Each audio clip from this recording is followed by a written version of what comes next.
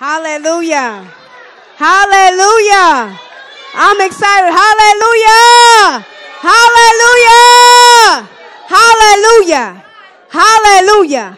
Father, we welcome you in this place, God. Hallelujah. Have your way, God. You be seen among us, Father. God, I thank you that I have already decreased that you may increase, Father. Let your glory be seen, Father. For you said, arise, shine, for your light has come and the glory of the Lord has risen upon you. Hallelujah. Darkness shall cover the earth and great darkness the people, but the Lord shall arise over you. Hallelujah. So Father, we thank you for the season of the arising, for the season of the takeover, for the season that is already done. Hallelujah. So Father, we give you praise in advance for your word, God. We thank you that you will give your word with signs following, Father. We welcome your spirit, God. We welcome the prophetic voice, Father. We depend and lean only on your voice, Father. For God, now is the time. Today is the day. Hallelujah. For God, you said now faith. Hallelujah. Now is the time. So have your way tonight, God.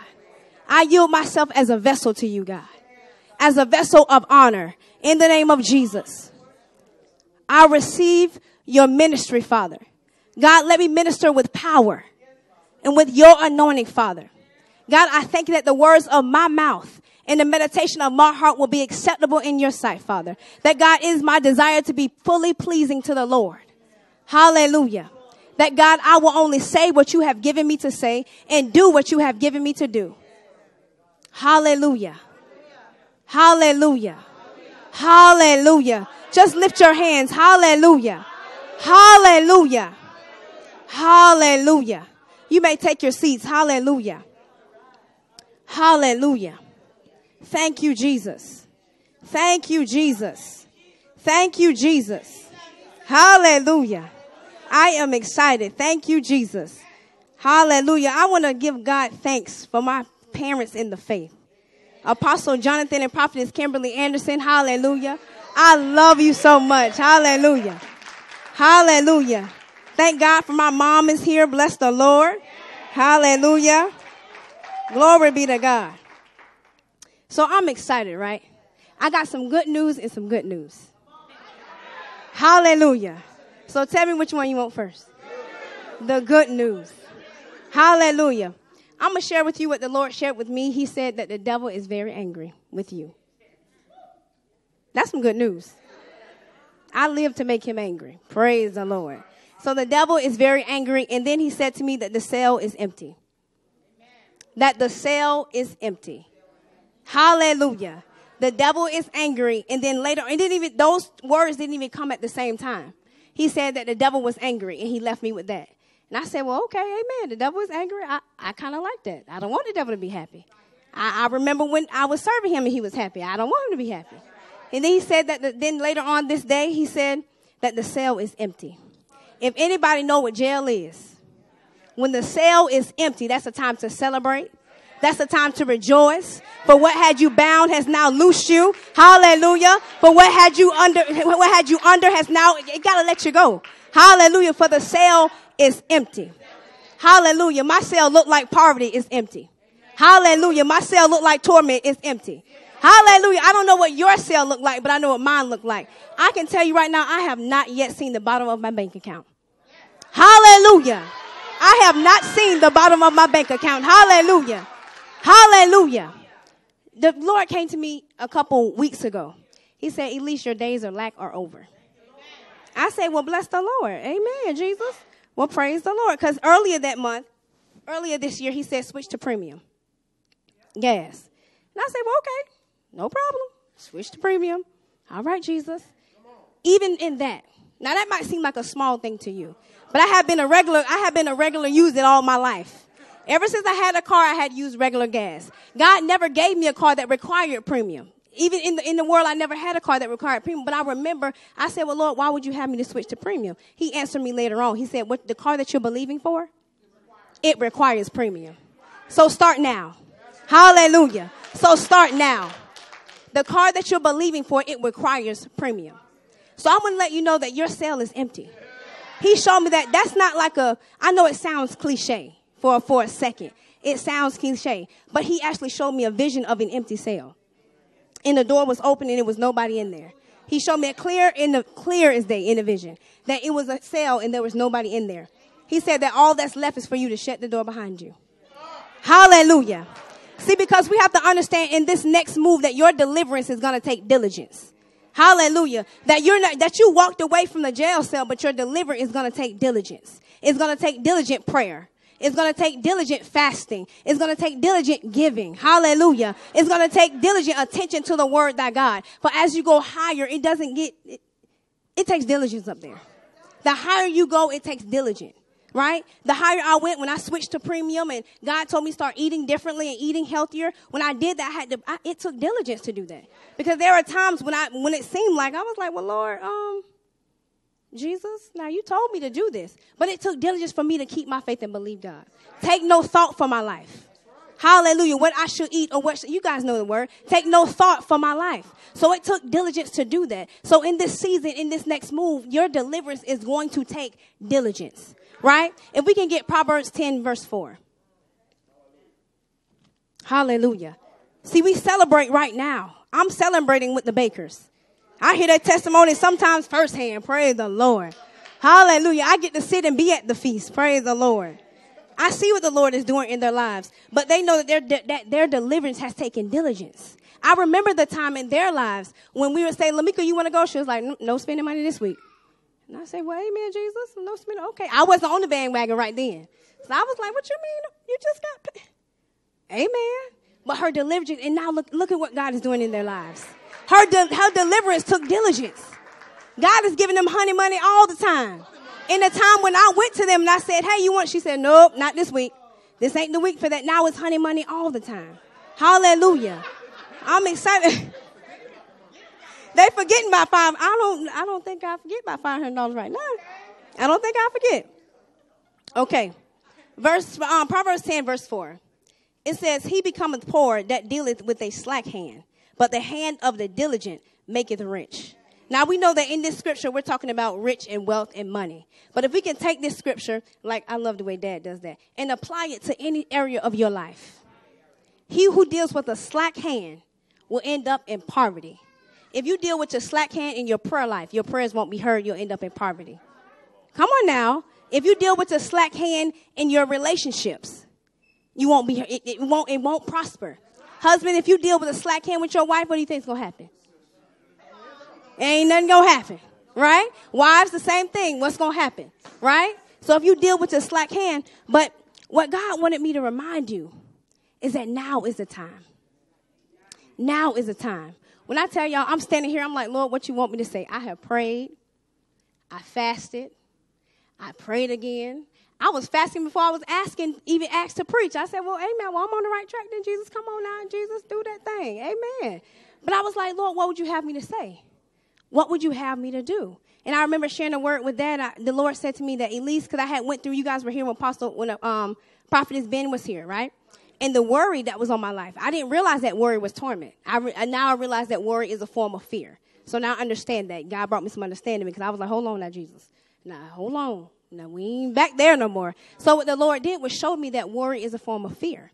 And worry is a form that you're not settled in the love. You're not settled in his ability to provide for you. You're not settled in his ability to do what he said he was going to do for your life or for your family. The, I remember he came to me, he said, at least you're worrying for something that has nothing to do with you. Your prosperity, the only thing you have to do with is be obedient. How it comes, when it comes, when it, how, who is going to come through has nothing to do with you. So you're considering, you're looking at, you're looking at your hand, you're looking at your situation, but it has nothing to do with you. All you have to do is remain obedient and diligent. All right? Obedient. And I guarantee with Miss LaWanda, it took diligent fasting. It took diligent praying. It took diligent to believe. It's, it's, it's listen, our only work, the Bible says, is to believe. So it takes diligent faith to believe. But when God came to me and said, Elise, the cell is empty, I got excited. If we can get um, 1 John chapter 3, verse 8. And he started talking to me about this scripture, I called one of my sisters, and I started talking about this scripture, I said, Well, Father, okay, this is now he this is three different times. Three different words. He said, Now is the time, your cell is empty. And then I had this scripture a couple weeks ago. And if you look at that scripture, let me turn to it. I got the King James Bible. Praise the Lord. All right, 1 John 3 8. It says, He that committeth sin is of the devil, for the devil sinneth from the beginning. For this purpose the Son of God was manifested, that he might destroy the works of the devil. So I was reading over that scripture and I said, Father, thank you that you destroyed the works of the devil. Father, thank you that you've annihilated the enemy in my life. Father, thank you that you're doing it for our ministry. You're doing it for people around me, God. You're doing it for my mother. You're doing it for my father. You're doing it for my brothers. I'm just praying. I'm, God, thank you so much. Thank you so much that you're destroying the works of the devil. He said, You're right, Elise, but look at that word. I said, Well, okay. You destroy the, he said, You're thinking English destroy that I break down the works of the devil, that I break and I, I said, well, yeah, you destroy the works of the devil. Well, he said, well, look up that word in the Greek. And I said, okay, no problem. So I look up that word in the Greek. I'm not going to be before you long. I just want you to know that the cell is empty. Okay? That's all I want to do tonight is let you know that the cell is empty. So I'm reading over the scripture and I'm decreeing that the, that the works of the devil are destroyed. That Jesus Christ was made manifest for that. And I said, Father, you he destroys poverty. He said, well, at least the poor will always be among you. If he destroyed poverty the poor will always be among you. And I said, well, that don't make sense. He was like, right.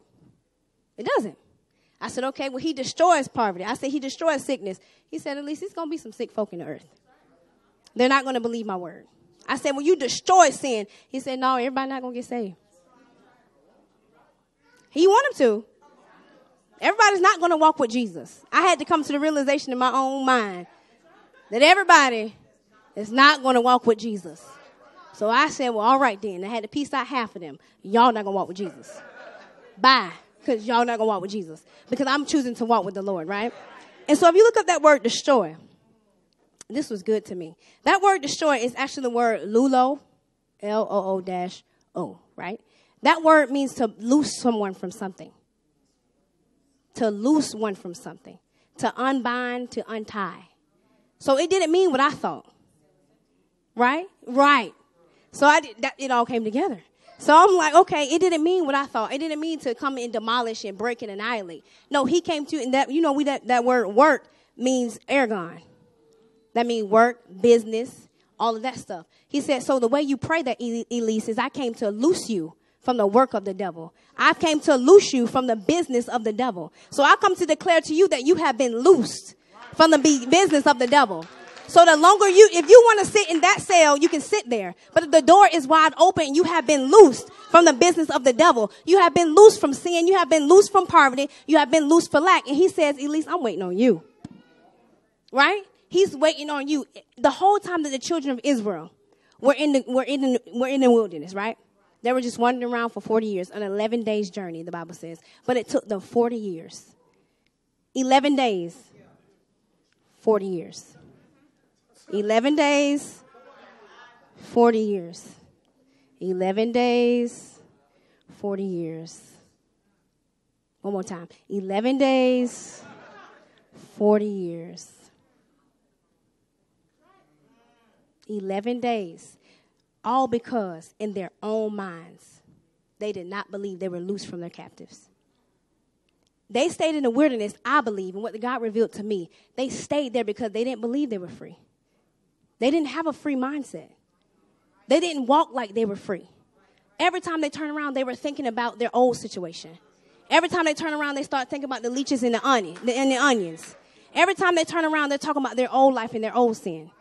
Every time, if a person is always talking about what they've been through, you don't believe that you're through it. Come on now. I'm a witness because I used to talk about my sin all the time. I used to everywhere I go, I give a testimony. Lord, thank you, the Lord delivered me from homosexuality. He delivered me from lying. He... Now, are you are you delivered? Are you delivered? I said, well, yeah, I'm delivered. He said, all right, well, let it go. Yeah. He said, well, let it go. I said, well, Jesus, what, that's it? He said, that's it. Now, during this time, I'm gonna tell you the truth. During this time, this is when when the dreams were happening. The last time I preached before you all, and that's when he told me that. When the dreams were happening, every time I go and rehearse and I preach, then they had me wearing a shirt that said ex homosexual on my body. I'm like, what the world going on now, Jesus? Now I woke up the next day, I was like, Lord, I feel kind of weird. Like, Lord, something is wrong. Like, this ain't right. And he he took me right back. He said that shirt that she was wearing yesterday, that wasn't right. He said, because you're not an ex anything. You're not an ex anything. The Bible says who the Son has set free is free indeed. Come on, somebody. The Bible says, hallelujah, that once you come to Jesus and you confess your sin, when you come to Jesus and you give life to Christ, that ain't even the time of confession. You don't come to Jesus and Lord, forgive me for all my sins. Jesus, no. How, how can you? You were never saved. So you were doing what sinners do. Dogs bark, sinners sin, right? So when you came to give your life to Jesus Christ, when you confess that he is Lord, meaning master, and then he was Savior, meaning he, re- he rescued you from that place loosed you, set you free. Why are you still talking about it? So now somebody else asked me in this season, he leaves. I have a couple of people, not my friend, not my friend, not my friends, but it was a, a teacher called and asked me, Elise, I want to talk to you, I want you to come talk to a group of students about your testimony. I said, Well, Jesus, are they trying to get free or they just want to hear? They was like, Oh, we just wanted, she wanted to share. I said, No, I don't do that. Oh no, I don't do that. He was like, What you mean I don't do that? Now I'm talking to another pastor. I'm like, I don't I don't sit and rehearse my story.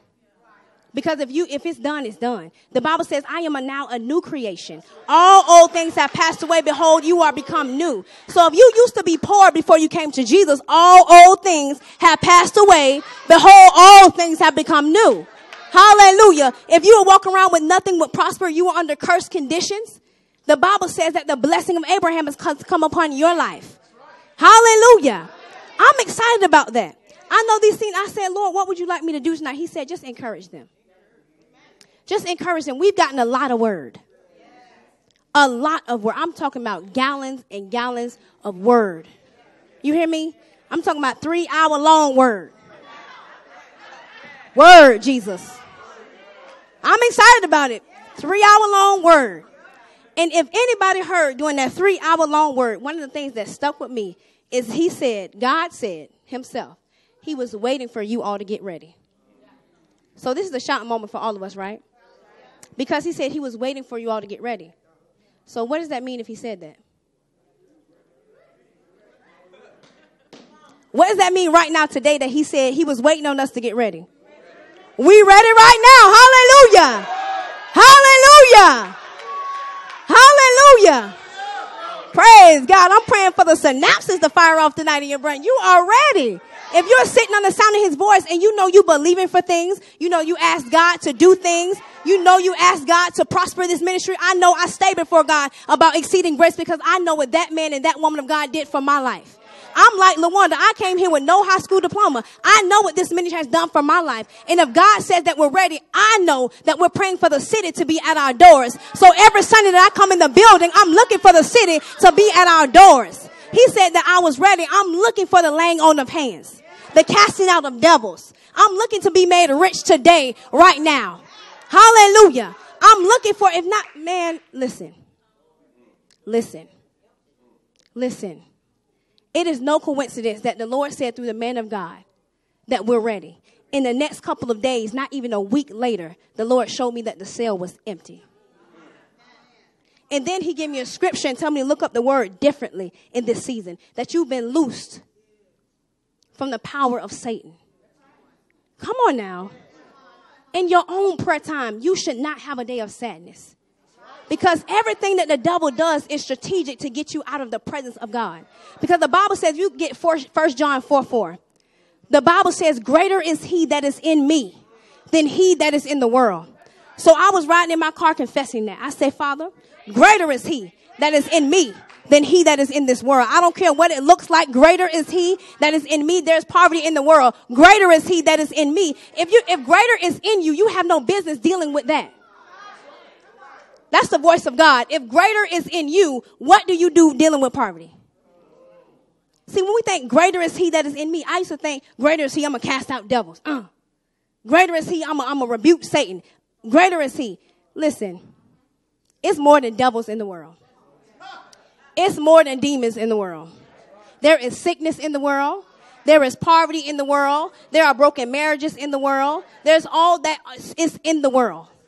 So greater is he that is in me than he that is in the world. But everything the devil tries to bring you is to get you out of him. Right? It's to get you out of him. Because I was confessing that. I was like, Father, thank you, God. Greater is he. Because I be having, listen, I don't like my car. I appreciate it. I thank God for it. I put premium gas in it, but I don't like it. Okay? I'm believing God. I remember when Pastor started preaching about the new coat, that was my scripture. I'm standing on that thing. I said, Jesus, we going to another level in the spirit now. We need to take this naturals with me now. Come on, somebody. You know you growing in the spirit. Your natural need to catch up. Hallelujah. I'm looking around. Your, if you're growing in the faith, Shantae, you're growing in faith. You growing in the word. You're serving God all the days of your life. Your house and your car needs to catch up. Hallelujah. You walking with Jesus. You're praying. You're praying in tongues. You're doing all of that. Your situation needs to catch up. But guess what? He said, y'all ready. Hallelujah. He said, y'all ready. So I was like, Lord, this need to catch up. He said, you ready? So back to my greater is he that is in me. I was praying. Greater is he that is in me than he that is in the world. He said, Yep, as long as you stay in me. I said, Well, Jesus, we have a lot of conversations in my car. Like, you know, I'm ready for it to be gone, but I'll say bye to it. We're going to have some new conversations in my new car. He might show up better. Hallelujah. We're going to have some better conversations because it, it, it'll look more like him. You know, he'll be, he'll feel more welcome on that ostrich. Hallelujah. With them seat warmers. Come on, somebody. He'll feel more welcome. Hallelujah. It got seat memory. Come on now. He'll feel more welcome in the BMW 528i. He'll feel more welcome. Come on now. And he'll feel more welcome. Come on now. He'll feel more welcome. Y'all, see, I ain't playing. The Lord, I'm telling you, the Lord will feel more welcome. Because he is God. He will feel more welcome. But everything that the devil does is strategic to get you out of the presence of God. Every single thing. Because greater is greater in you. Greater is he that is in you, but you are not greater than the devil. Not you as in your flesh. Your natural man. Ask the son, the um, sons of Zebedee, seven sons of Sceva. Ask them, was, was they flesh greater? No. It, the devil kicked them out. Right? So everything that the devil sends you, every person, every voice, the devil even ministers sermons and give you scripture. I am a witness. I was starting my business. It, it, listen, the devil had me stop my business for an entire year because I let him preach me a sermon. And he used scripture. Come on now. So I say, he said, Elise, the, the Lord came to visit me, the Lord. He said, hey, Elise, hey, you know the devil preach scripture, preach, preach sermons. And I said, the devil, what? He said, the devil preached sermons. And I said, well, what you talking about? He said, he preached a sermon to you. I said, what are you talking about? He said, you're starting your business and you're like, okay, Lord, I'm starting this. Here we go again, Jesus. All right. He says, but the devil came. I didn't recognize it was the voice of the devil. That's why I thank God to discern between good and evil. See, now my senses are being sharpened. I can discern between good and evil. I know when it's the voice of the enemy now, and it's the voice of God. So he comes to me and he says, You know, you've been trying this business for a long time, but I will not strive a man forever.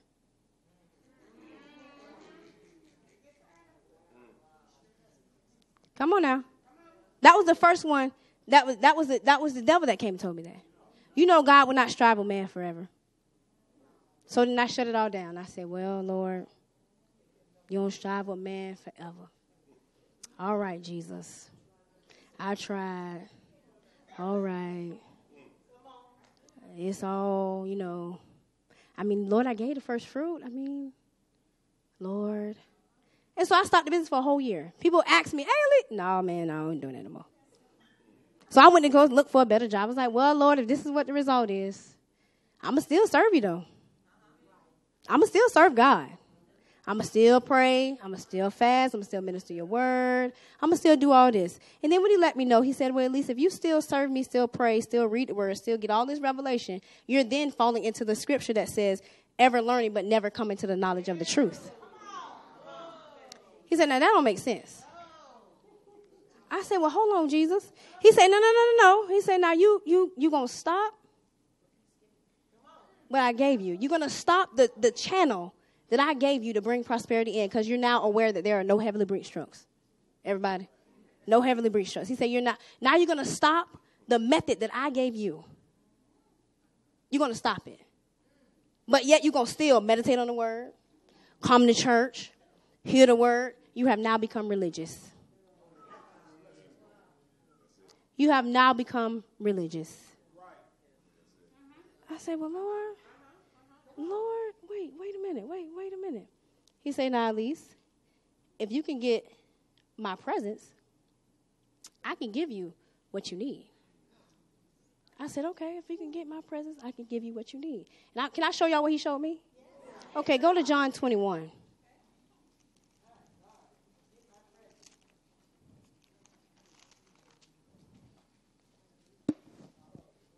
I love the Lord, y'all. He loved me, y'all. Amen. Shoot. Okay. Verse 3. Now, this, when he showed me this, I was like, Jesus, see how much I love you, Jesus? Look, it says, verse 3, it says, Simon Peter saith unto them, I go a fishing. That's what Peter said. He got tired of waiting. He was like, Man, I thought this was it. I go a fishing. I remember dad preached that thing that, ooh, I was like, Lord, ooh, Jesus, I went a fishing. Lord, right? I go a fishing. See, the devil wants you all to go a fishing. He wants you to stop praying. He wants you to stop waiting. He wants you to stop sowing. He wants you to stop doing all those. He wants you to go a fishing. Because that's the devil is bringing messages, sermons, and sabotage. The devil is trying to sabotage your victory. He's trying to sabotage your destiny. You understand what I'm saying?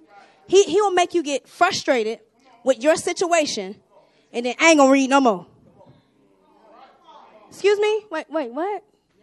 I'm frustrated. This taking too long. I ain't gonna sow no more. He is trying to sabotage your destiny. I'm getting tired of waiting. I'm just gonna do it my way. And guess what he just did? Got you out of the presence of God. Because we can live in the holies of holies we can live in the presence of God. The Lord said that to me, and then I come in this morning, Dad was teaching. I was smiling so big, I was like, he gonna look at me like I'm weird. And I was like, let me just fix my face. Because I was just talking to him. He's like, I was like, Lord, I enter to your gates with thanksgiving. He was like, hey, you already here. You can live in the holies of holies. But anyway, the devil wants you to go a fishing. So you'll say, I'm not going, I'm, I'm not going to church no more. This ain't working. not going to church anymore right? They'll have you start to distrust those who you should be trusting. They ain't for me. They ain't, they're not for me. I'm not with those people. I'm leaving. Come on now. So now when the prophet showed up and talked about the people leaving, I was like, Lord, Lord, they went a fishing. Them jokers going fishing. I don't mean to call the people jokers, Jesus. I'm sorry. But they went fishing. I'm not going fishing. Not without his presence. If he don't tell Elise go fish, I'm not fishing. Right? So listen. About my business, I was sitting, I'm reading. I'm like, okay, Jesus, come on now. I go a fishing. I can stay there all day. I go a fishing. Jesus. Okay. They say unto him, We also go with thee. So now they got friends to join in with they going to fishing. Now you got people who you found who they tired too, so you go talk to them.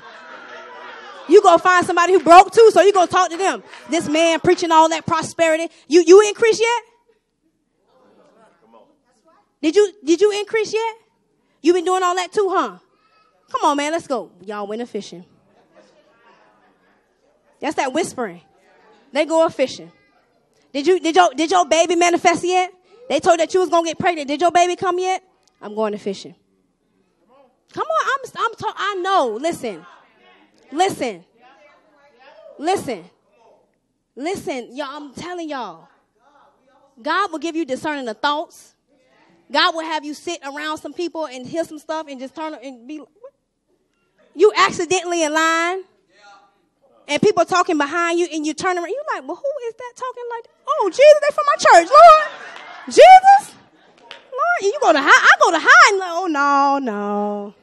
No, because if you see me, I'm gonna have to. I'm gonna. I'm gonna. I'm gonna say something about that because that wasn't right. So no, no. So I don't want no sin about mission Jesus. So no. So listen. Then you find some people that's with you in your situation. That's why I'm not love when Dad says, "Find somebody who's doing better than you. Talk to them. Talk to them. Talk to them." So okay, keep reading. So he found some people to go with him, right? And remember, all this, he's talking about my business to me. He found some people to go fishing.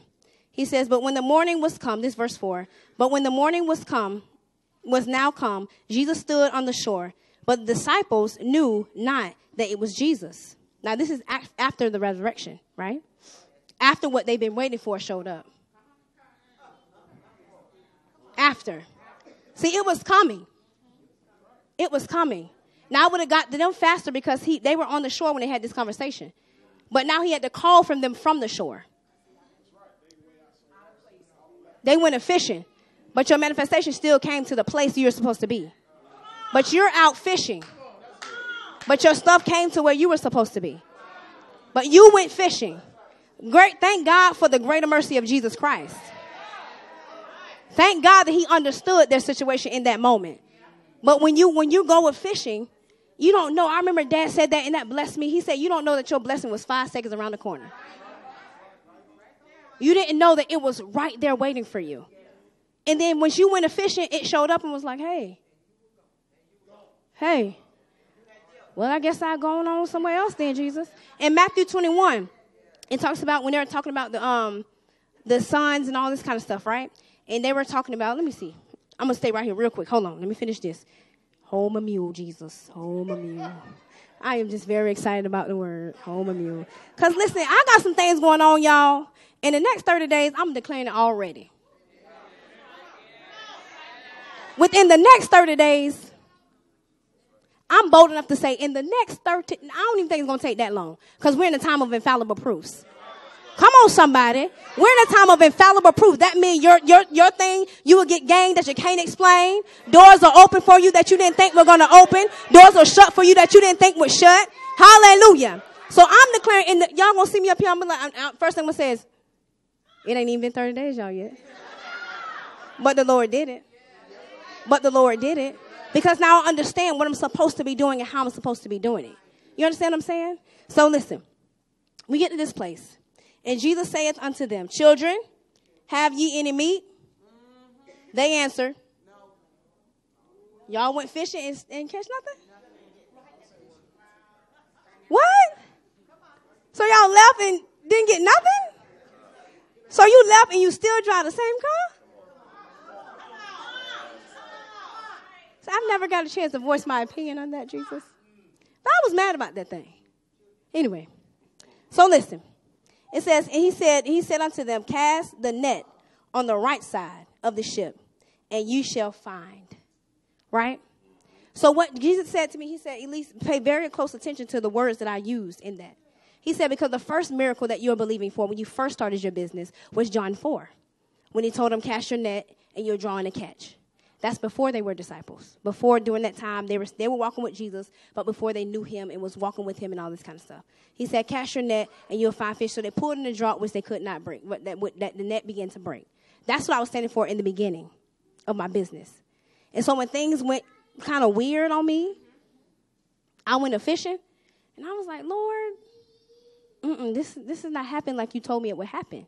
He said, You didn't do it like I told you to do it. And I said, well, okay, amen, I got that. I take that. So when the devil came and preached his sermon about he will not strive a man forever, I know, like, come on now. Come on now. So then the Lord brought me to this scripture, another, the same scripture with the same situation, the same circumstance about you going into fishing. Your first catch, you're going to pull in a whole lot. So that's why I've been saying, on first catch, I'm pulling a whole lot, right? He said, pay close attention that he said disciples this time. His disciples. So I don't care what you walked away from that the Lord told you to pick back up. You are still his disciple. You are still a chosen person. You are still in fellowship with the Most High God. That's why he was able to show up even though they went a fishing. Even though I went a fishing. When I came, he said, Elise you are still a disciple. Come on now. You are still a disciple. I don't care what mistake you made. I don't care what you said. You are still a disciple. I don't care when you drop the business because you heard because you listened to a word from the enemy. Then the word, then the devil give you confirmation on the word. Now you real confused. Because now that now people preaching and confirming the word you heard, and you like, oh snap. Oh snap. This is real. But then know the whole time that you misused the word that was being preached. Misused it. And so now I'm sitting there in condemnation and all this other stuff, right? Because when the pastor started preaching, I'm going to tell you exactly when it happened. When pastor started preaching, right, Dad? I love him so much. He was preaching, and he said, um, what you do in the flesh will not prosper. I said, oh, geez, I did my business in the flesh. So, Lord, that's why I ain't prosper. I did it in the flesh. You said you want to strive with man forever. Now, the devil preached me a whole sermon and gave me confirmation from the man of God. That's real. So now I have this devil preaching me this. I have the man of God preaching this. Seems like it's confirming this, but it's not. But it's not. The devil's job is to pull you out of the presence of God, pull you away from your destiny, pull you from what's rightfully yours. He will, he will use the Bible to do so. Whatever, cause he know we're a word church. So he can't come to me and be like, Elise your business gonna fail. That's not gonna work. I'm a word woman. The Bible says, whatever I put my hands to shall prosper. Right? Whatever I put my hands to shall prosper. So I know my, no, but when he came to me with a word, I was like, oh, Lord. I was just finna go there. Exactly how he did Jesus. Pastor preaching with me. I love that. Praise the Lord. Come on now. So I was just about because the Lord showed me. I said, "Well, Lord, you got to give me an example." Anytime I hear from God, I need an example in Scripture. I said, "Well, Father, give me an example. Give me an example of that." He said, "Well, Jesus, uh, when Jesus, when when the devil took Jesus all the way to the top of the mountain, right? He took him up there to tempt him. What did Jesus come for? He came for he came for all this to be his. He said, Sit here till I make the earth your footstool. He came for you and I to make the earth his footstool, which is our footstool because we are the body of Christ, right? So when the devil went up and said, Hey, confirming scripture, hey, if you bow down and worship me, I'll give you all this. Now, was not is that not what he came for? Right? Is that not what Jesus came for? Yeah. And the devil's still making that same offer to thousands of people all over the world. If you bow down and worship me, I'll give you the house. You bow down and worship me, I'll give you this. See, when we think that, oh no, the devil's not doing it anymore. Anytime that you choose Amscott over prayer, you bow down and worship him, he'll give you all this stuff. Anytime that you choose a loan over a heavenly grant, bow down and worship me, I will give you all this stuff. Come on now. Come on. Every time that you say that, if you, if you, I, I, if you, hey, listen, it's an, it's an easier way. It's a way out. Now, would that way have seemed easier to Jesus? Because Jesus, the Bible says, for the joy that was set before him, he endured the cross. So he knew what he had come to do. He knew what he had to face for us. But when the devil offered him, he said, if you bow down and worship me, I'll give you all of this. But Jesus was able to discern between good and evil. No, that don't sound right.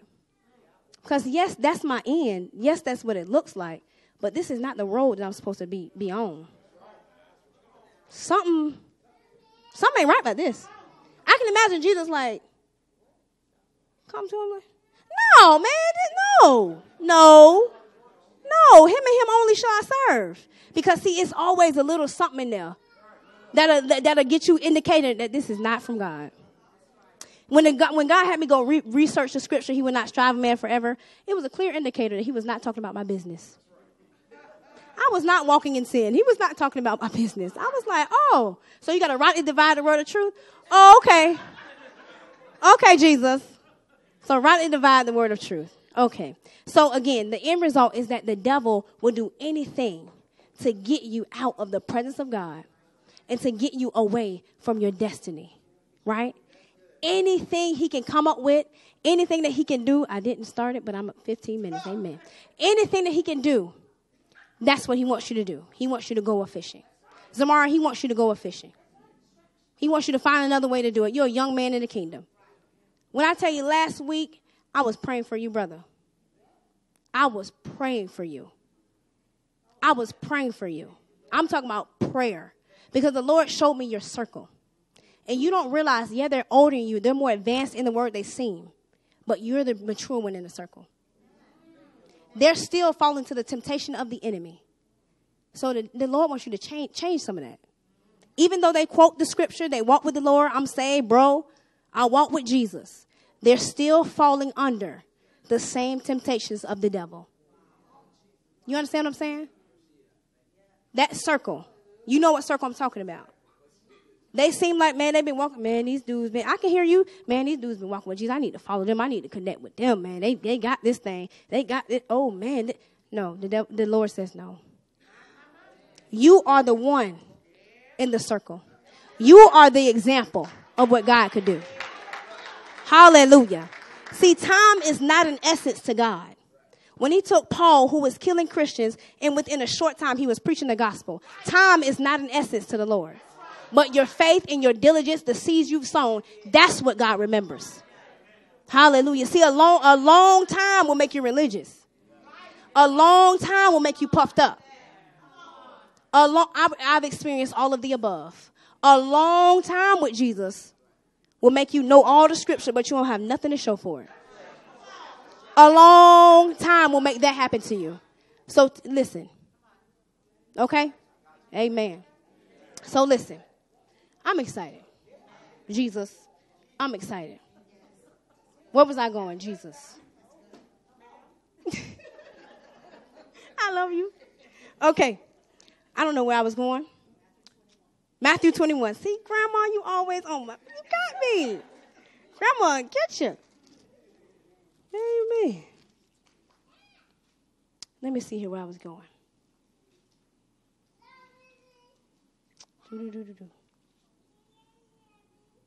Okay, now this is, I'm not going to tell you what verse yet because, like Dad says, you guys like to read ahead. So, this is me, and I'm reading the Bible, and this is, so uh, remember when I said a long time will make you religious? A long time will make this happen. A long time, all this stuff will happen. You've been working with the, walking with the Lord. Now, I've been saved almost seven years, right? Doesn't seem very long, seven years, short time. But for the word that we receive, where should I be in seven years? You showing up right. Right. So yeah, it takes a time to change your mind. The Bible says, you know, people say in the world it takes three years to renew your mind. It takes three years to change your habits, all this kind of stuff. But that still is not seven years. Right? And so I begin to pray and I begin to seek the face of God. I shut down everybody and everything in this last course of time right now. Everybody. Everybody. I said, okay, everybody be quiet. Everybody hush. Because you got one person, they rebuking you and saying you this. Then you got another person who encourage you and giving you prophetic word. Everybody hush. Sometimes you have to do that. Everybody hush. I need to hear from God. Because God has clearly shown me, Elise you've been saved for seven years under this man of God. Where should you be? Really think about it. If you're a person who, now that you know everything that's going to happen, see what happens is we get so afraid in the time, we get so afraid in that waiting place. You get so afraid in the waiting room till you don't move. You get so afraid because you're, you're afraid of the unknown. But what we have to still remember is because you're afraid of the unknown, you still understand that God is good and He only does wondrous things. There is no evil in Him. So when He says sow the seed, you can sow it because you understand at the end of this, God is good. But see, I had a thing where I was just sitting and waiting. I'm like, okay. Okay. Okay, not, not today. Okay. Then I sow a seed. Okay. Oh.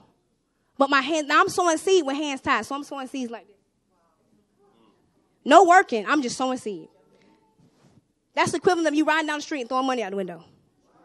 You just sowing seed. You just sowing, scattering. I'm anytime I hear a good word, I'm sowing. You just sowing seed, all kind of seed. just sowing seed. But my hands are tied. Business not working.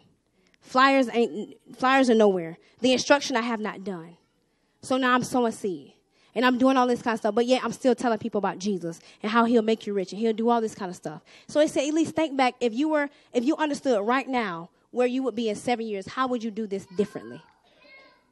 How would you do your time at Exceeding Grace differently? I said, okay. He said, because this is what will happen. If you go to uh, Matthew 21, verse 43.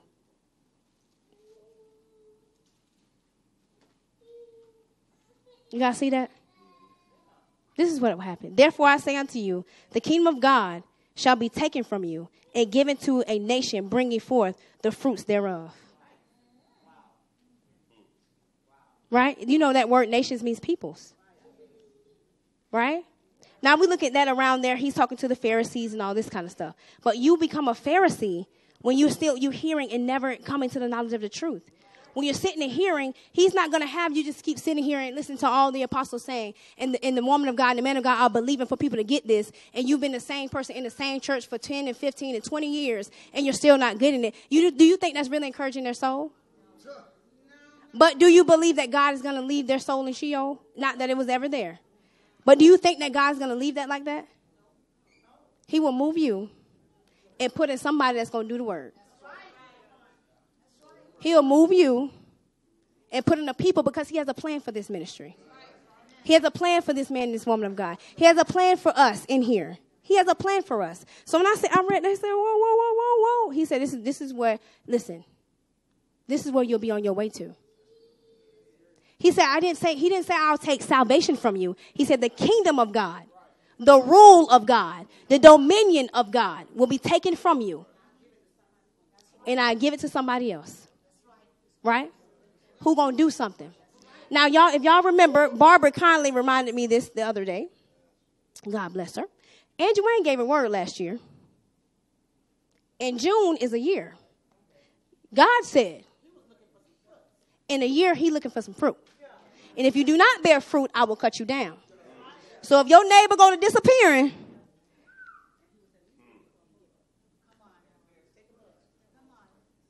so if I look around and somebody go to disappearing, I'm not gonna be because I remember what the Lord said. I'm not gonna be moved by the next move or the next event. I ain't, I'm not gonna be moved by that because now, like Mom said, he'll at least take. He, you got to do something. You have to do something, right? So he didn't say that I'll take your salvation from you.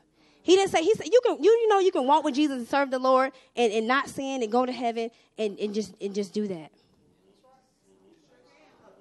Do that. You can sit under a man of God that believes that. You know, friends, you just guys, just love your neighbor. Yes, I don't care where you were last night. Jesus loves you. Baby, Jesus cared where you was last night. Let you know. He would take the kingdom from you.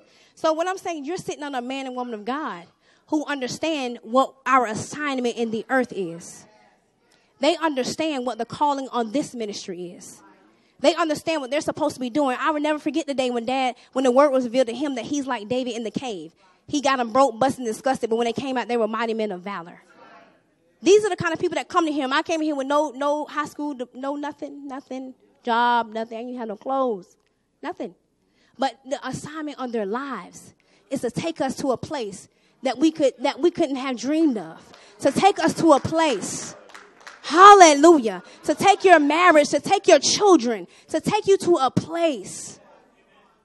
To the place. The Bible says that God searched the whole earth for a place for the Israelites. He searched the whole earth and said, okay, that's what I want for my people. It is good. Now, y'all come here. Y'all come here. Okay?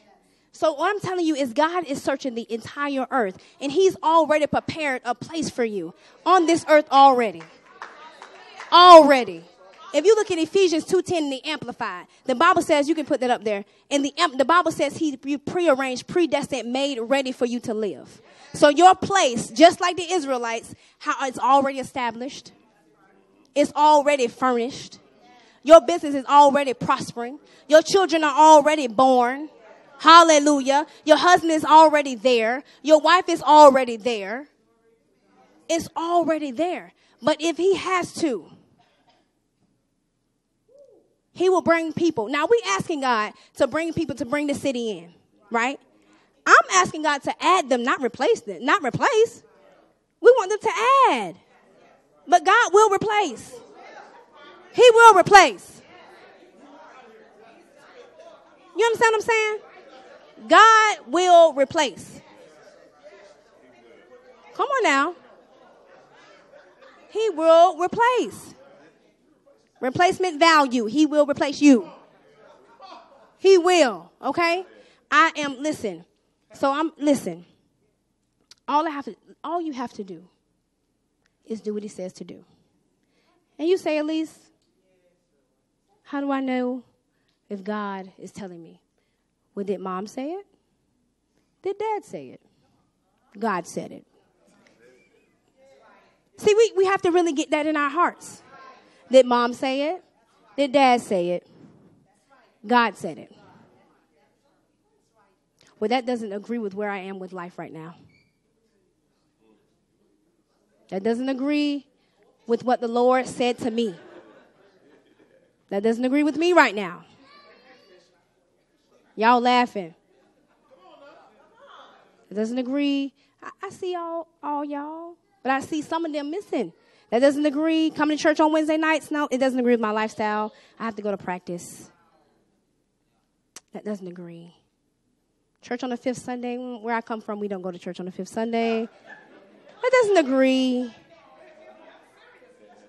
That doesn't agree. Praying tongues. Pr- tongues. With tongues. Tongues? You mean tongues? What you mean praying in tongues? Praying in tongues? What's tongues? Shoto? No. That doesn't agree with where I am right now.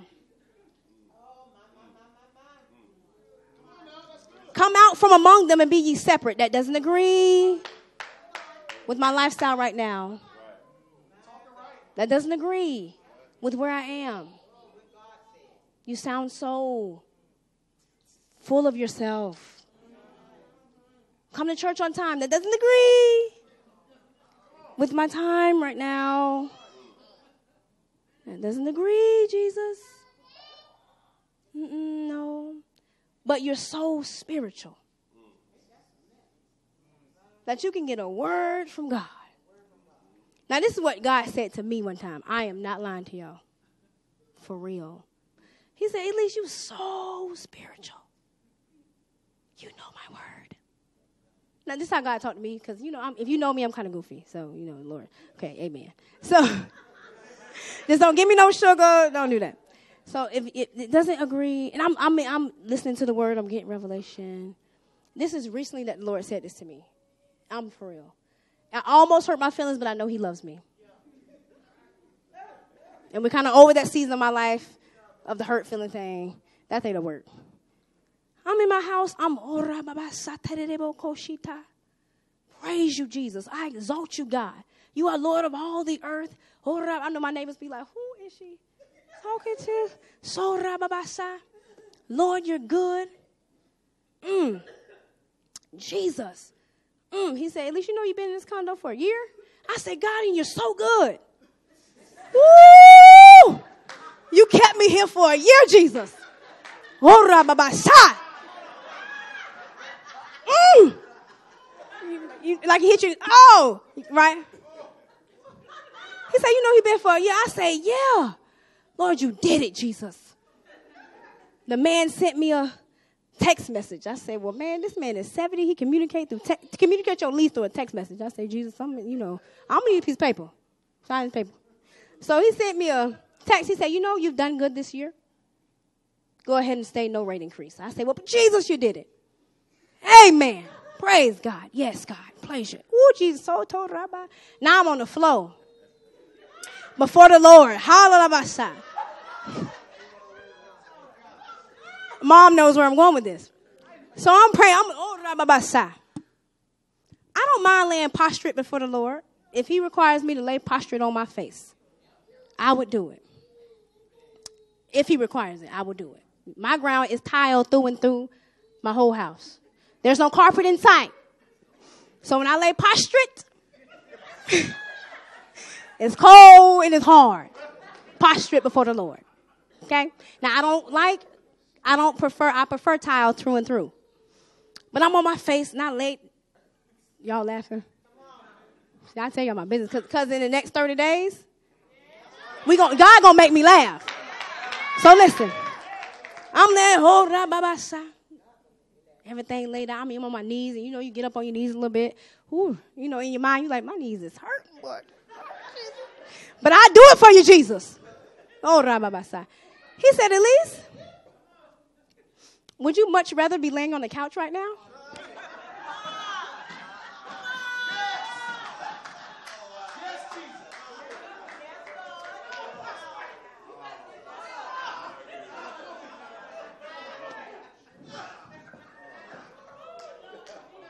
Ain't funny, Dick.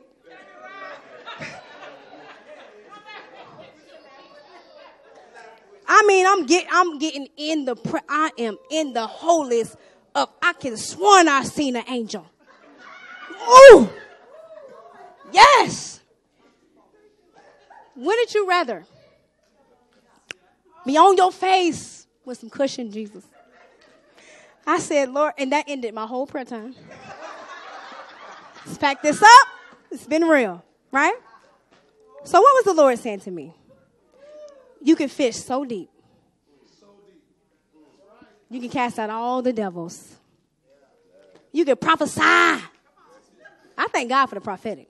You can, oh, you can, I can see the Lord is telling me right now that you're thinking, well, please, my daughter. See, the Lord told me, no, I'm just kidding. But listen, you can do that. But yet and still, I'm on the flow, prostrate before the Lord. I much rather on some tile. I put my blanket down, but then you then you think, now I left the blanket on the floor for three days because I'm not gonna put that on my bed. So now I'm sleeping with a sheet and it's cold. I'm like, oh Jesus. Then I got a new blanket. Praise the Lord. I got a new blanket. I'm just keeping it for real. Cause we can we can be so, so deep and be so, so miserable. So, so afflicted. The affliction of my people, poverty and misery. You could be so deep and so sick. Come on now. Now I'm revelating in the Holy Ghost. You can call me. I can listen. we going to talk about the word. we going to listen. I'm going to talk to you about Jesus, all that. I'm going to listen. I can talk. Listen. We're going to talk about Jesus. On the floor. People come over your house. They come over your house and we eating. Elise you mind if I sit on your counter? Why they ask me to sit on the counter? There's no table. There's no chair. But you be, I want to be given to hospitality. I was sitting in mom and dad's house, and you know, I was like, Lord, I want to do things like this. I want to have a no low party. Then you know, got a wise idea with pillows. That no, that's just an excuse. You want to get no couch. So what the Lord is telling me is that the sale is empty. Go get your couch. Now, how do you close the door behind you? Make the move. Go shopping. Right? Right? I'm going to deal with this one last thing. And the Lord said to me, and then I'll be out of your way, been up for about an hour. One last thing, right? Now, I've been hearing this a lot. You know, this love, walking in love. So now I thought I had my love walk down. I thought I had my love, love walk on point. I mean, I thought my love. Listen, you slap me and you tell me you're sorry tomorrow, I will forgive you. That's the honest God truth. I will forgive you. I will be like, hey, listen, I know you ain't mean that. Now, I can't say I won't hit you back, but I will forgive you. Now, I'm definitely getting to the turn the other cheek part. We getting there? We getting there. Okay. They call her my throw down sister. That ain't right. So listen, I'm almost there. A lady bumped me in, in, in, in uh, Old Navy, and she threw up her hands, and I turned around. But Jazz was there to pull me away. Praise the Lord. Amen. Don't let the smile fool you, Jesus. Amen. But anyway, so I thought I had my love walk tight. I'm going to give you two examples he gave me to show me that it wasn't as tight as I thought. So, God showed me, He said, the first time He showed me, I seen, and, and you know, you can stop me if I get too, too far, right? I seen with my own eyes, and I ain't gonna tell you when. It could have been a year ago, could have been five years ago, it could have been yesterday, it could have been whatever. Somebody walk in church. So me, baby Peter, thinking I got my love walk down. Hey, listen. They walked in, so I went. I know, you know, my, my backup. I know when I'm about, when when it's about to go there, I go to back it up a little bit, like. So I'm looking like this, And I watch dad and mom.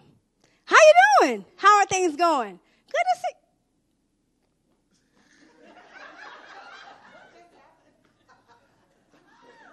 Can somebody please help me understand what just happened? I say, now, Lord, I knew that this person was being used of the enemy because it's not the person, it's always the devil. It's not the person, it was the devil. I knew, and it was like one of the major. I say, well, Lord, how you, goodness, oh, yeah, oh, really? Okay, and just a smiling, and it was very genuine. Peter Jr., I was standing right over there. I was like, I would have hit that joker, boy. I would have hit that joker. I would have hit that joker. Like, I would have hit that joker. Okay? That's one thing when I was raised, I was never scared of nobody. Ask anybody six foot two, three fifty, I will hit you. I don't care because the only thing gonna happen, you're gonna whoop me, I'm gonna whoop you. Either way, that's all that can happen. And if you make me too mad, you're gonna kill me, I'm gonna kill you. Whichever one, that's all that can happen. So I was never really scared of nobody. That's my mama. She had to come out to the school 50 million times. Cause Teachers included. Listen, I will hit you. What? I can have my cell phone in class. What you mean? What? My mama calling me. You want to eat my mama?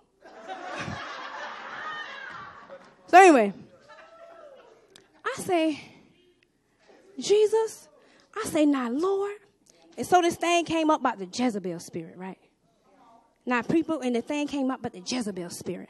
I say, Father, mm-mm, Jesus, the Jezebel spirit. He said, first of all, Elise that's not a spirit.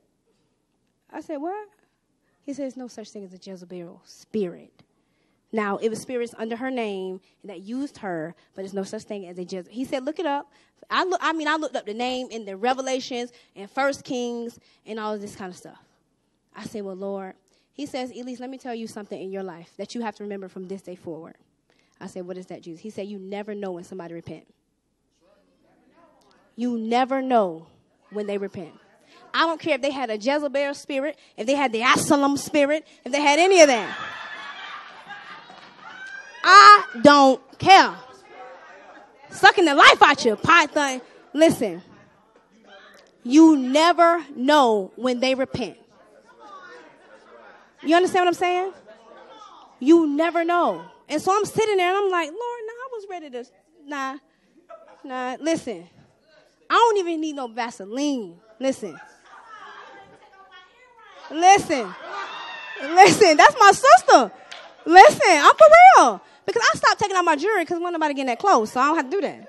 So listen. He said, Elise I need you to remember that from this day forward. If you want to walk in my love, and walk with me, they could have done the worst thing or said the worst thing. But the moment they come to me and they come to themselves, the moment the prodigal son came to himself and decided to repent and go back to his father's house, it is over. Now you still walk around with your, with your resentment in your heart Mm-mm, no, she straight tried me. And the lady, oh, like Jesus, the person didn't even do nothing to me. It was to them. So now I'm hot. Because I don't even think they know the magnitude of my love now. Listen, I will go to J A I L about my pastors. Okay? Listen, because I know I will go. I will call, I will be on the way. Barbara call Deacon Gershon. Call Deacon Lemon. Anybody because I will go in by them. I'm not playing, right? So the Lord said to me, He said, Elise, you never know when. listen, listen, I'm, I got to put it away because I'll be ready. I, I'm, but I'm, I'm, I'm delivered from that. You just keep confessing that. I'm delivered from that. I'm delivered from that. Jesus, I'm delivered from that. Because I don't, I've never, I have not. you better say it. The temper is gone, Jesus. Praise the Lord. Because what the devil will do, he will use anything to get you away from the presence of God. So there's times where somebody will come and say something to me, or or some, I'll hear about something, and I will get so angry. Can you believe I had an anger problem? You really can? You believe that? Oh, you didn't? Okay, Grandma, thank you. Dad just yeah, I believe that. Okay, so I had a really I had a really bad anger problem, really bad. Like you couldn't say nothing to me. I was to go in with you. Now, even after salvation, I was baby Peter. That's what they used to call me. I'm not to let nobody else call me that no more. So listen, I had an anger problem, for real. And so I would hear something where I should have been the one to minister and restore you. I rebuked you. I should have been the one to minister. And the Bible says, restore your brethren. Restore. I flew off the handle and used scripture. Now, I'm not going to cuss. I don't curse. Not going to go that far. I don't be cursing. But yet, because I didn't understand the love of God, I didn't understand. The moment they repented, it was over. The moment they confessed their sins to God, whether it was Jezebel, whoever, it was over. No matter how they tried me, how they tried you, it's over. The sooner it can be over for you, the sooner we can go on and move on.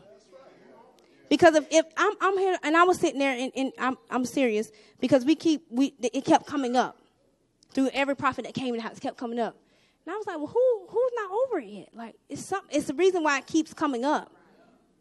It keeps coming up, and I get excited because it's good things that's being said, right?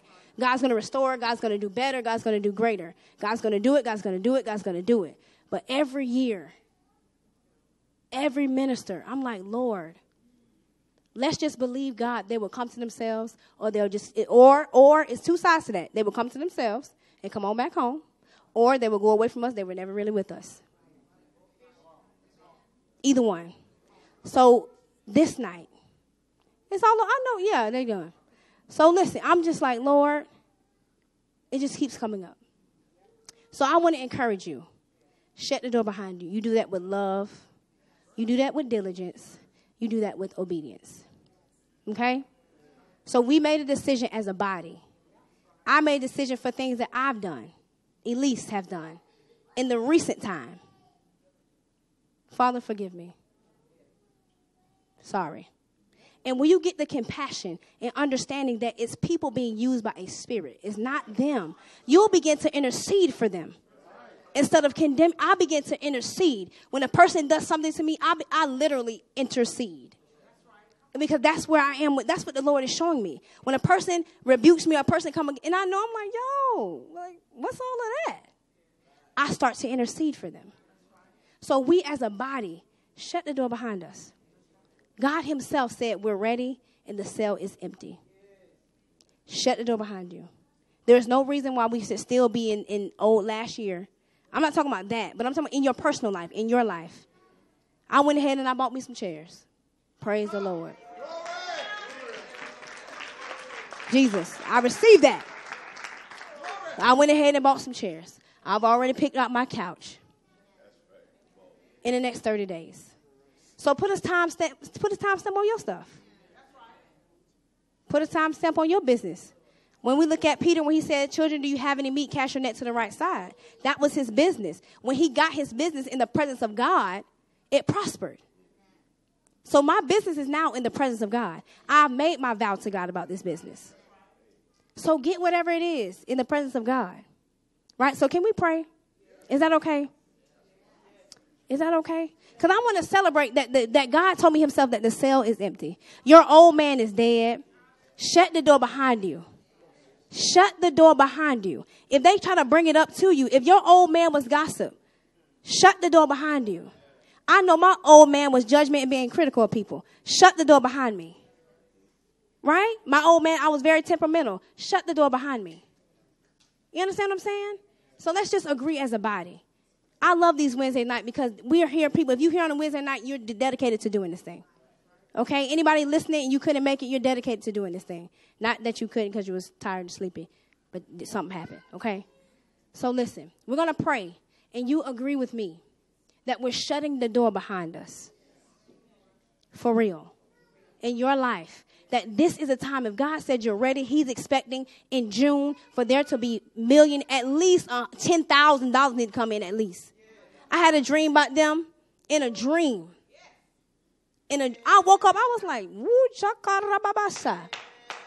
jesus it was just a dream and Edward was talking about his job, and they was just in the dream talking, and he was like, you know, I really don't like it, but you know, he ran to Lamika with the cell phone, was like, Look at the deposit. Now it was a payroll. I didn't know they get paid on the same day. Right? That I'm just dreaming. And I just woke up and told them about the dream. Hey, this is what the dream was. Deposit $19,000 in their account on their payroll. So I'm like, Jesus, you're already doing it. You're already doing it. I had my I had my dream about gold. So it's time, okay? I'm believing God for supernatural deposits. That is not impossible. It happened for Aquila. That is not up, impossible for God. Okay? But use our business. Another thing that the Lord showed me, this is the last thing I promise. He said, He said to me, He said, at least I was believing God. I said, God, the wealth of the wicked is laid up for the laid up for the just. I command a release before my business. I command a release. The wealth of the wicked is laid up for the righteous. Pour out, God. Let the rain fall. The latter and the former together. Let the windows of heaven be open over my. Now I'm praying, interceding, praying. He said, Elise, um, it's laid up, but you got to go get it. It's not laid up and you're just gonna be at home and I'm a millionaire. No, you have to go get it. You have to go get it through your business, through your books, through your movies, through your apps, through your sportswear, through your stuff, through your ministry. God, listen, it's laid up, but we have to go get it. I receive by faith. That word receive, I take it. Okay? Whatsoever you ask in faith, you shall receive. Whatsoever you ask in faith, you shall take. So we're deciding, shut the door behind you and go get your stuff. If the cell is empty, if your house was locked up in the cell, the cell is empty. Go get your stuff. Right? Go get your healing. If it's a knees you need it, go get your go get your legs. Stand up and get your legs. It's empty. That means it's yours for the taking. People say it's yours for the asking, it's yours for the taking. Okay? So, Father, we thank you for this night, God. We thank you, God, that you're faithful, that you're faithful to us, Father. Father, we even pray that your voice be strong in our ears even as we sleep, Father. That the what that you amplify the ear of our hearts, Father, that we can hear you like never before in the name of Jesus. For he's saying that I will give you dreams and visions. Dreams of instruction and visions of prosperity, the Lord says. Hallelujah. So, Father, when we sleep in our beds, Father, and we sleep with a book next to us for ideas and inventions, Father. When we go and throughout the earth and you're making our hands strong, God, we remember, God, God, if you be for our business, who can be against it, God? That God, we remember the determining factor of our business is that our business is in your presence. Hallelujah. And in your presence, there is fullness. So I decree fullness of contracts in the name of Jesus, fullness of clientele, God, fullness of business, God. God, thank you that we don't have to create your presence, God. We get in your presence that's already established. So, Father, I pray right now, Father, that you give everyone the mindset to shut the door behind them. That we love our neighbor as ourself. That we love the Lord thy God with all of our heart and with all of our soul and with all of our mind. Father, that we've agreed in this house to keep your word in the name of Jesus. That we've decreed that we've decided in this house, Father, that none of this word's man word, none of this man's words will fall to the ground. And God, you said to us, I remember when you said that we will know that a prophet has been among us. So, Father, continue, God, to encourage the man and woman of God. Continue to give them a mouth and a word of word, of wisdom that even their very adversary will not be able to contradict or deny. God, continue in this season to provide us with infallible proof in the name of Jesus. God, I saw what you did for grandma the last season of infallible proof, God. Lord, you're still doing new cars for infallible proof, God. You're still doing debt free houses for infallible proofs, God. Hallelujah. The Lord says, Get your hands ready. Get your hands ready. It is now the time.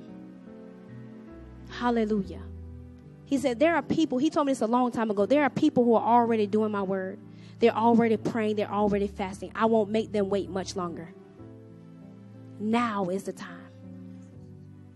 I can't make for the diligent, I can't make the diligent wait for the ones who have a slack hand. Hallelujah. So, Father, we thank you that in this very atmosphere, that we've shut the door behind us, that we press forward to the high mark in the call of your salvation. That word salvation is deliverance and prosperity in all of the all of the good things that you have to offer us, God. So, God, as we go forth, we press toward salvation. We press toward the part where you save even our souls, God. That, Father, you said that you're the lover of our souls, Father. That, God, you will even leave our souls satisfied in 5775. That, God, you will satisfy our souls, God. Even, God, in Psalm 107, Father, you said that you will satisfy the longing soul. And the hungry soul you will feed with goodness. So, Father, our souls are longing for those days. Our souls have been hungry for those days, God. And we think that now is the time that you will satisfy our souls. God, it is no coincidence that this is the year of that the hand is through the open door. And God, you said that you open your hand and you satisfy the desires of every living thing. So, Father, as we get our desires on our mind, we thank you, God, that we trust you to satisfy. We trust you to satisfy. And Father, in this house, we love each other and how good it is for the brethren to dwell together in unity. So, Father, thank you, God, that we're unified body, God. Hallelujah.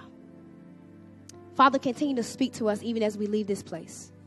Thank you that you remind us that we can always be in the holies of holies, that we can always be in your presence, that we can always enjoy fullness that we can live out what Jesus came to do.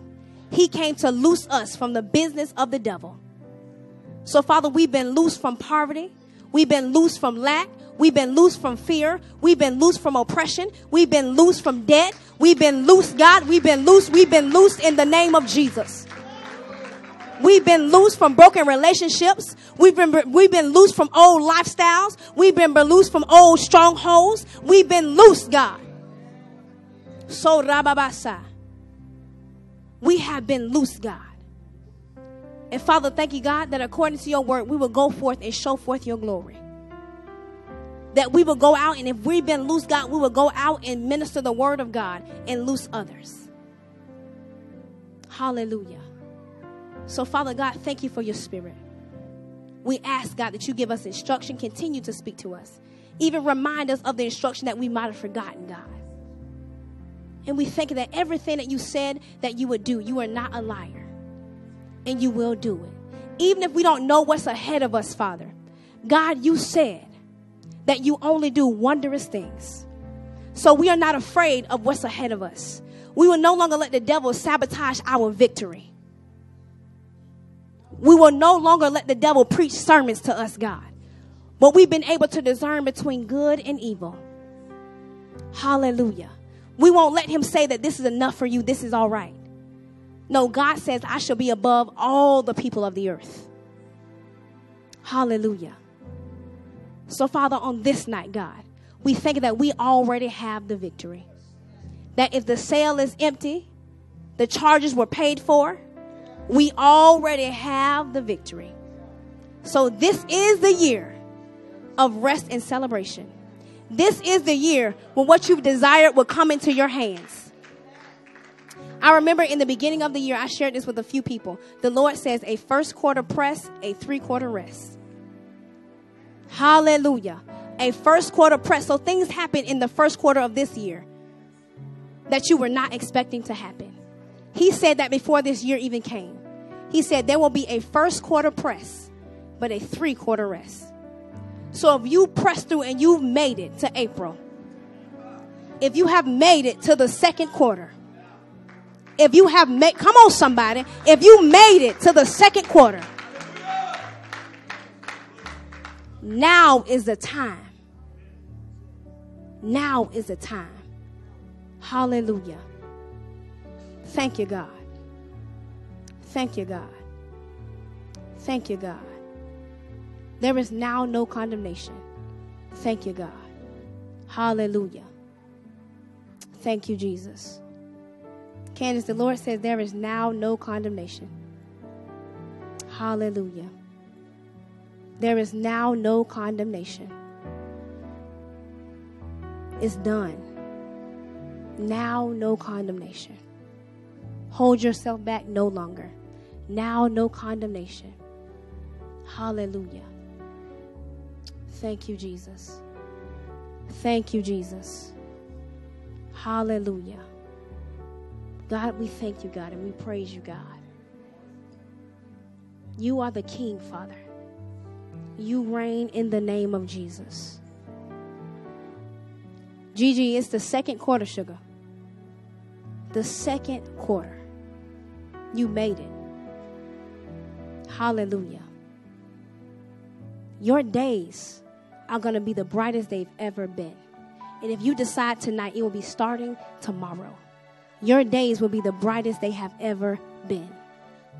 You went through your first quarter. Hallelujah. The best has come. We always say is yet to come, is come. Hallelujah. Hallelujah. Thank you, Jesus. Hallelujah. Crystal, the Lord says, make a decision. Make a decision. Make a decision. I don't know what that means for you, but you're here. He said that you're here and you're there. Make a decision. He's using young people too. Make a firm decision that you will serve God and receive everything that He has for you.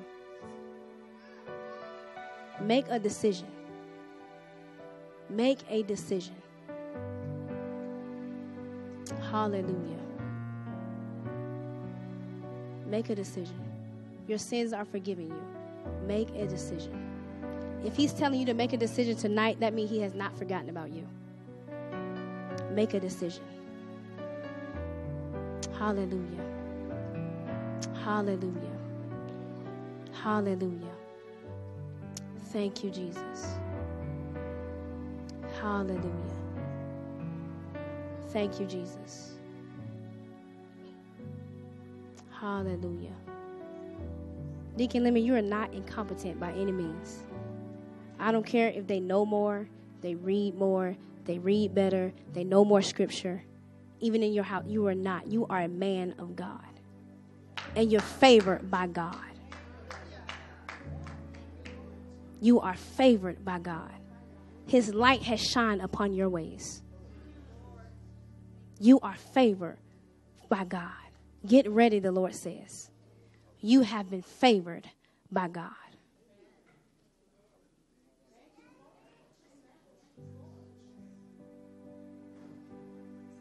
You don't have to pipe down to anybody. You know the word that He deposited in your spirit. You don't have to be nervous before man. Anywhere in your house, anywhere. You know the word. I don't care if it seems like they know more. You know the word. And you have. You have been favored. Light has shined upon your ways. He saw, he saw what you've been doing. Light has shined upon your ways. Hallelujah. Thank you, Jesus. Hallelujah. Thank you, Jesus. Tamara, the Lord says, don't be afraid to be beautiful.